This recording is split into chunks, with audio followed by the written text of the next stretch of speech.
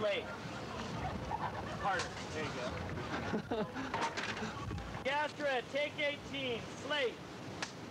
Very well done. Okay, Carlo, loosen up a bit.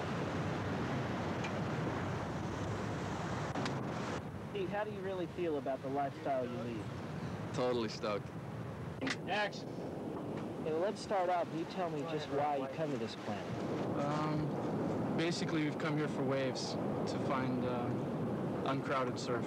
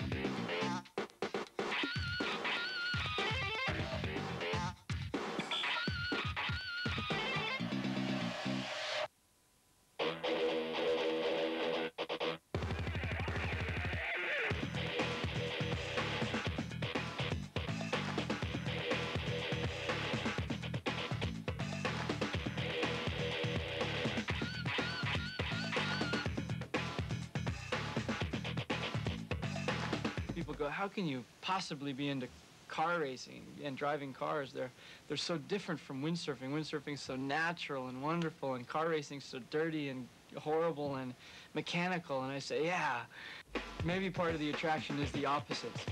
But at the same time, the feelings um, of doing both well are really similar. Um, being one with your equipment, windsurfing, where you don't even have to think about what you're doing. As you're in one move, you're thinking already about the next move. It's a natural flow. And the better I get and the longer I've been doing it, the more the exciting, uh, adrenaline-oriented aspects uh, become more and more exciting.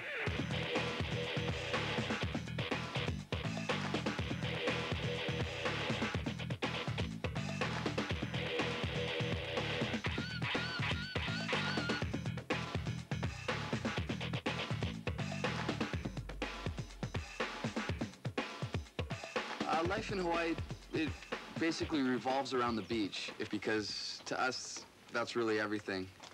Um, that's where everything is done. I mean, we sail every day at the beach, we surf every day. Uh, sometimes we just go down there and it's, it's kind of a good meeting place for everybody.